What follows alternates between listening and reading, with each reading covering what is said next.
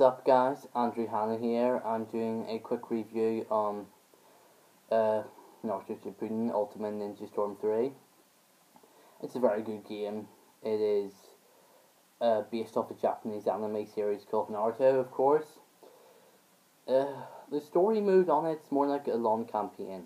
Because on Ninja Storm Generations, there are individual stories, but on this, it's like all about the fourth great Ninja Warriors. No like individual stories to it, it's all just the one game. So on the multiplayer, I've never been on the multiplayer, but it's supposed to be decent.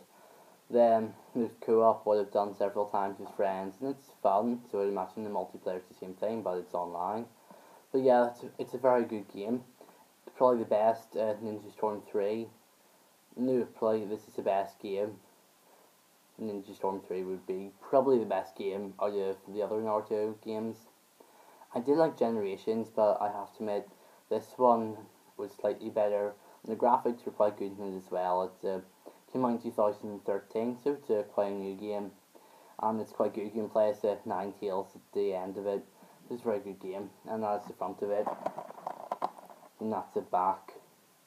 It says, uh, you can see that, it says, uh, the Fourth Great Ninja War. Now begins, and you've got there Naruto and Sasuke clashing their uh, Rasengan and Sasuke's uh, Chidori.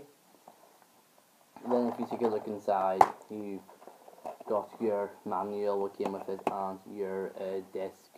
I got this game on release day for something like £30 at GameStop, so that was actually quite cheap, but, well it wasn't cheap, but it wasn't like daftly expensive. Hope you guys enjoyed this video. Remember to hit the like button, comment, rate, subscribe.